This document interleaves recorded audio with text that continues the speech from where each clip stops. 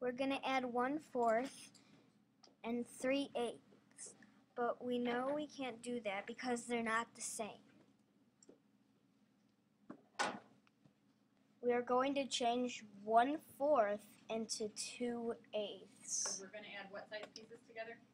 The three eighths pieces. Okay, so we're going to change the one fourth piece into two eighths because we're gonna add eighths together because those are the same size piece. Thank you, Ryan. You can back away from there. Perfect. If you want to fix it, you can. Okay. Perfect. Okay.